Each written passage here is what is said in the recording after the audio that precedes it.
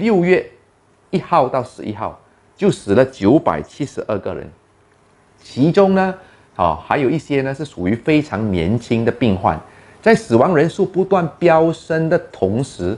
我们也看到了这个 BID brought in death 啊，还没有送院就已经送命的人数也不断的这个增加，哦，几乎有三百个这种个案是还没有被发，只是被发现。还没有送到医院，他的这一个病情就从 stage one 直接到了 stage five，最后呢来不及送院医治，就已经啊离开人世。这一个呢，其实是一个微新的危险趋势。打了疫苗后，不仅仅是要看感染率的降低，发病的程度我们也要看，而且发病的程度会大大的减少。根据 Vox 的数据，在实验里面呢，没打疫苗的参照组啊，大多都有严重的发病，而其中两人死亡，九人必须进入加护病房。但是对比已经打过疫苗的啊，却依然感染的人，我们来看一下，他们却连一个进加护病房的机会都没有，症状的减轻是非常明显的。所以当我们在讨论疫苗的时候，我们千万不能够只局限在感染率上面，我们也要看症状的减低。它不仅仅是数量的区别，同时也是质量的下降。所以，如果你只看数量不看质量的话，那你就跟那些找某诈骗网红的商家一样，非常的白痴哈。那第二个我们要来破解的谣言，那就是有一些人说，哎，我要选比较好的疫苗。很多人真的是遗传到这个华人的客家精神啊，一直在边挑选疫苗，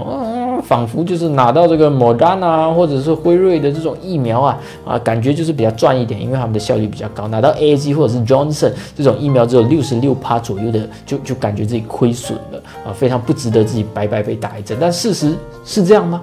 我不能说完全没有差别，但是其实我们根本没有办法完全公平的。比较所有疫苗的有效程度，为什么呢？因为每一个疫苗啊，生产的那个时间点都是不一样的。莫德纳和这个辉瑞的疫苗，它的有效性实验是在八月到十一月疫情没有那么严重的时候，在美国还有英国这种公共卫生管控比较好的地方进行的，所以最终只有五趴的人感染，所以他们的记录上面就写，哎，我有九十五趴的成效性。但是与之相反的，Johnson 等等的疫苗啊，就是在十月到二月份这个第二波疫情爆发的时候，变种病毒来袭的时候才来测试，而且测试的地点